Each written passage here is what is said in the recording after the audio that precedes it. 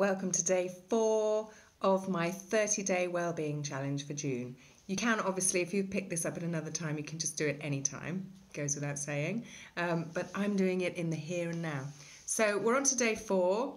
I've still got a cold, but I still managed to do 20 sit ups yesterday, a 15 second plank, and three glasses of water, and cook something healthy. Well, actually, mum cooked something healthy.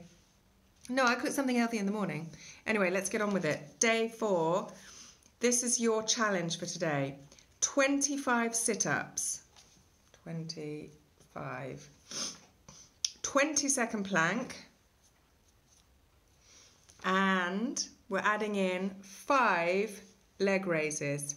Now, when I was doing a challenge um, last month, the ab challenge, which I didn't actually see all the way through, um, I didn't know what kind of what I knew. I could imagine they were leg, ra- your leg raising your leg, but I didn't know exactly how the exercise went. So I looked it up on um, the internet. I think it was YouTube or something, and it showed me exactly. So I watched this woman do her leg raises and did mine the same.